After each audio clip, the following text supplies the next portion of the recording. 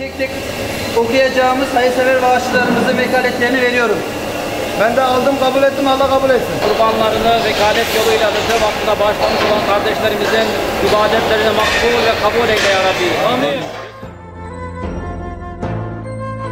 Emanete bıraktığımız etleri 12 ay boyunca ailelerimize dağıtıyoruz. Lösemili Çocuklar Vakfı her Kurban Bayramı'nda olduğu gibi bu yılda kurban bağışlarını bekliyor. Sağlıklı beslenebilmeleri için en çok ihtiyaç duydukları besin kırmızı et.